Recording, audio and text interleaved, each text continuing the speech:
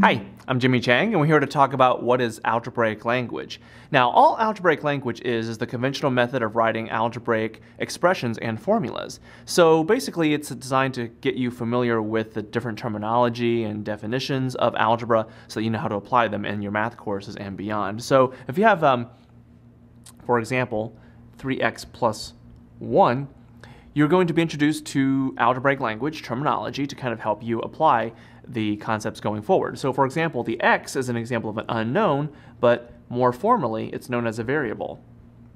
Now the numbers that you see, the 1 and the 3, those are examples of uh, constants because those are numbers. Now those are just some of the examples, but you might also come across something like if you have 5x y to the second, you may recognize 5 as a constant, the x and y as the variables. 5 can also be known as a scalar because oftentimes you use a number to multiply expressions. And you also will see 2 as an example of what an exponent is, the power that you're raising terms to. So basically algebraic language gets you familiar with the different terminology and definitions and notation going forward. So I'm Jimmy Chang and that's what is algebraic language.